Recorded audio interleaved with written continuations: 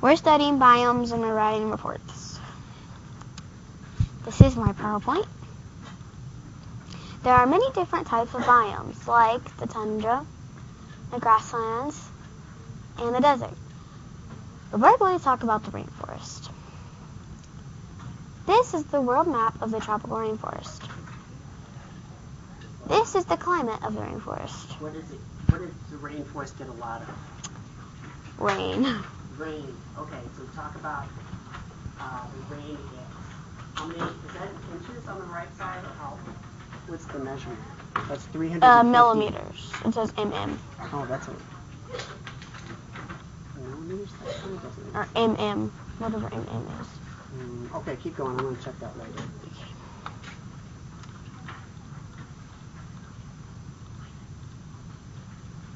You clicked on one of the pictures. It's okay. Go down to your PowerPoint. If you do the if you do the snippet on the pictures, it saves you a lot of time. That looks good. Can I start this over? No, it's all right. Go current slide. Okay.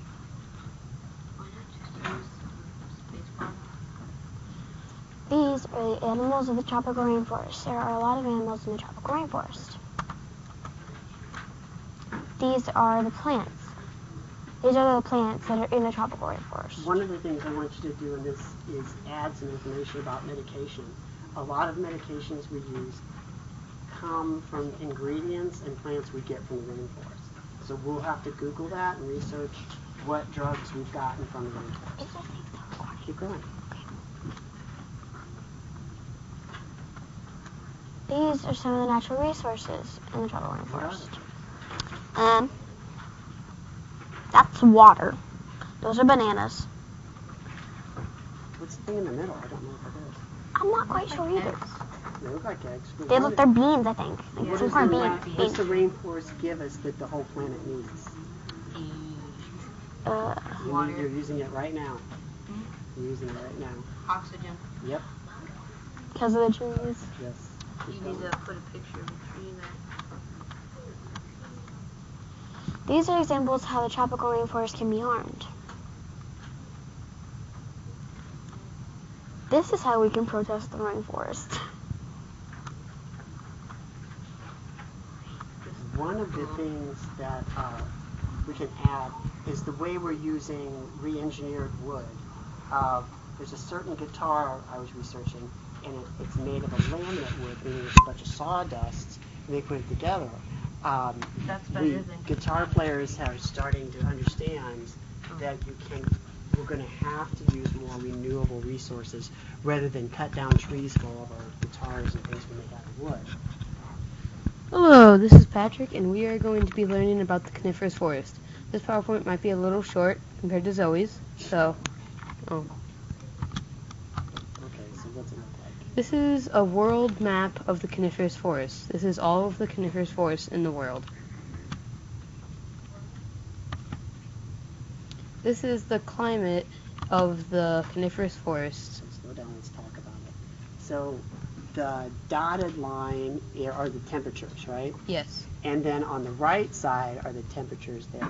So it gets down below 20 degrees. Yes. And so in January, the temperature is around, Like 25, maybe? No. Negative.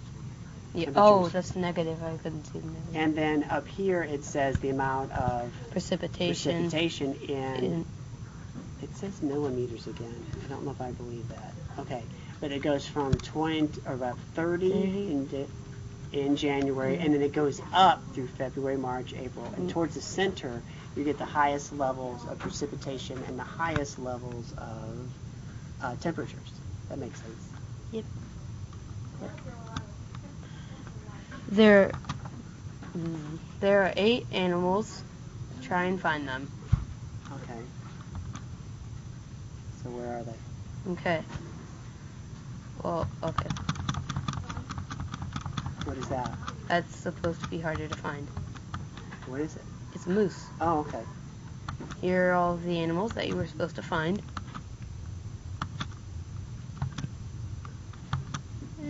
I really like that slide. Here, Here's some plants of the coniferous forest. I have no idea what they are called. I bet we probably probably label those. Yep. if you want. This is the end of my PowerPoint. That was great. Now hit somebody hit stop. It would be great. Okay. Hit escape and you'll be able to get back. Scape. Is it been recording at all?